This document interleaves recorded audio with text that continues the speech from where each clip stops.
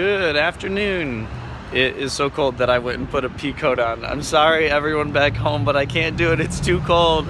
To be fair, I checked the weather and it's almost the same temperature, so almost. So right now, I decided I'm gonna go do some Christmas shopping and get some gifts for everyone. I've never really done the whole like buy Christmas presents for your friends before, but I want to this year. So I'm gonna go find some stuff for people. Got two things so far.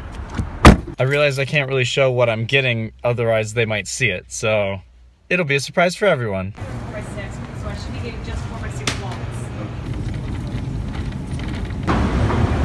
And now I'm at the Grove.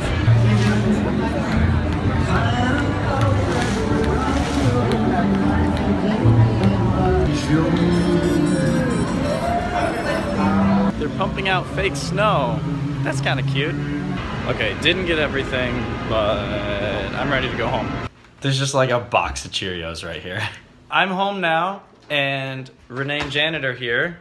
Yay. And we are coloring.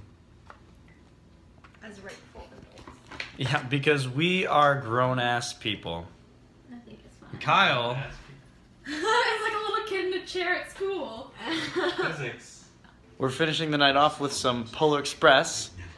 So this is where you leave us. Good night. Just finished a shoot with Allison and Gabby, I did not give my consent to be in this video. I do. and anyways, now we're getting lunch.